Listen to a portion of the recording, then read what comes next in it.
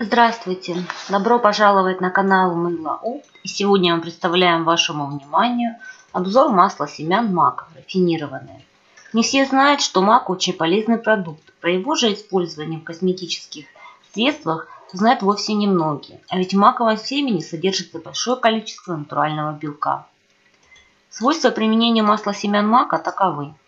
Масло мака признано одним из самых питательных и обогащающих витаминами масел.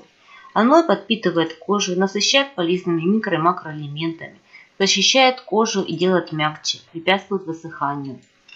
Масло мака при воздействии на кожу оказывает эффект лифтинга, а потому при его целесообразно использовать в лифтинг-масках для лица, а также в массажных антицеллюлитных процедурах. Как базовое масло подходит для терапевтических расслабляющих массажей, которые снимают стресс, усталость, внутреннее напряжение.